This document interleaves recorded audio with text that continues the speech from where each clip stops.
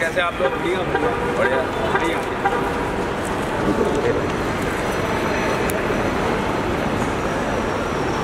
अरे आप एक सेकंड सामने रुको हाँ।